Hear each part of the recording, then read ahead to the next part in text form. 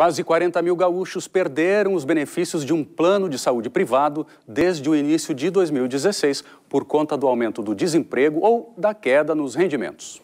São pessoas que agora passam a depender dos serviços e dos problemas do SUS, o Sistema Único de Saúde.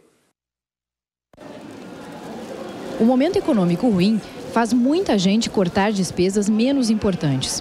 E com o agravamento da crise, setores considerados essenciais como a saúde também começam a ser atingidos.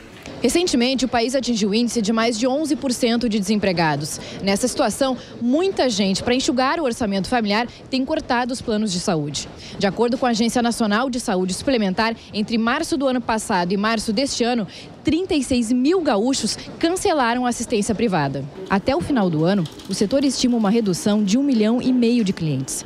Segundo o Instituto Data Popular, a queda nos contratos tem relação direta com o fechamento de postos de trabalho. Nessa operadora, 90% dos clientes são ligados aos planos empresariais, os mais atingidos pelas reduções. Acontecem alguns fechamentos, a gente, ah, principalmente no final do ano passado, eu acho que uh, com a proximidade que houve de 13 terceiro e, e pagamento de férias, eu acho que as empresas que, que demandam uma, uma mão de obra em, em volume, elas sofreram um pouco mais. Por consequência afeta o plano de saúde, né? E a gente tem que se reinventar, tentando buscar clientes uh, ainda que ainda não tinham, uh, assim, clientes virgens no setor, ou também dentro de uma competição, né, se tornar mais eficiente do que outras operadoras para poder absorver fatias de mercado que, que, que eram delas, né? Quem fica sem plano passa a depender do sistema público, que enfrenta várias dificuldades. Temos cirurgias que estão aí aguardando quatro anos para serem feitas já porque o SUS não tem a dimensão que deveria ter.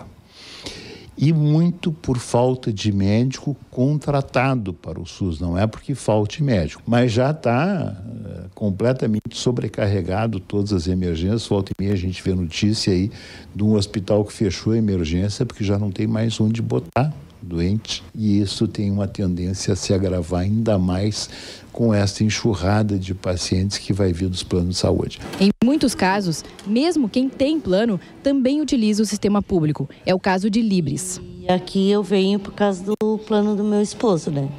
Mas se um dia ele for se aposentar ou ser admitido, daí eu vou ter que jogar lá, né? Ficar só com o SUS. Na capital, o Conselho Municipal de Saúde fez um protesto contra a precarização e o encolhimento do SUS. Ultimamente tem muita gente que nunca usou o SUS e está vindo para o SUS por quê? Porque não tem como pagar plano de saúde. Sobre o possível impacto de transferência de pacientes para o Sistema Único de Saúde, em nota, o Ministério da Saúde afirma que o acesso ao SUS previsto na Constituição é universal e gratuito para toda a população.